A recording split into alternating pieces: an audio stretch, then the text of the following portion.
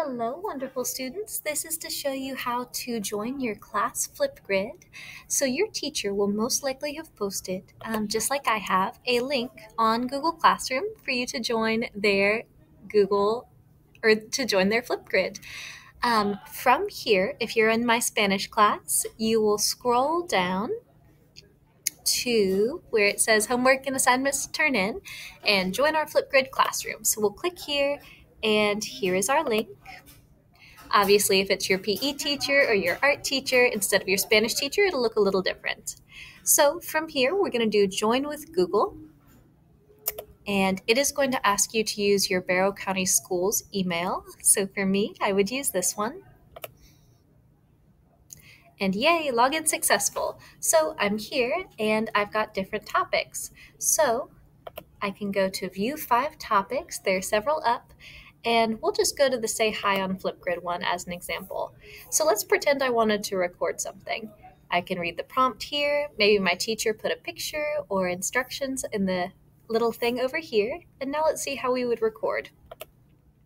So I won't do a full hello here, but It'll tell me how much time I have, a minute and 30 seconds, and the topic is moderated. That means that only my teacher can see it, um, no one else, unless I ask them in the video, please unlock just my video.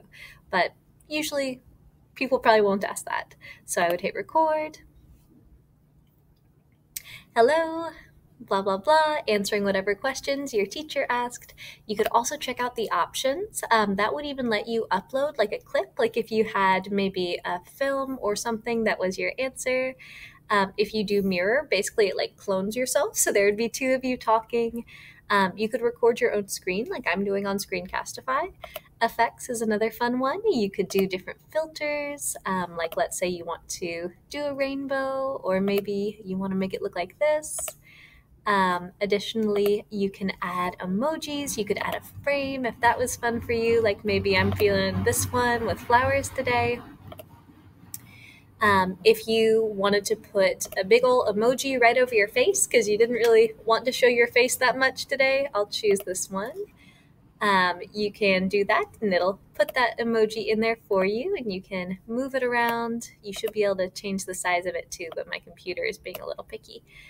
Um, a couple other features. Um, if you wanted to draw or write, that's what these two are for.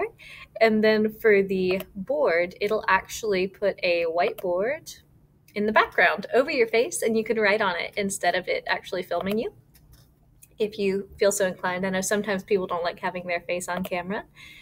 Um, or you could put a photo, so a couple different options.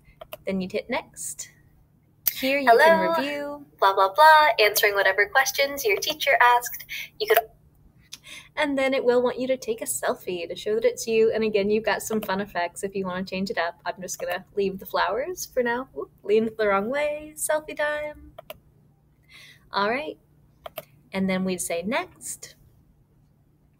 And it is uploading. So here, I'll just save this as Mrs. Christian example video. And then you say submit.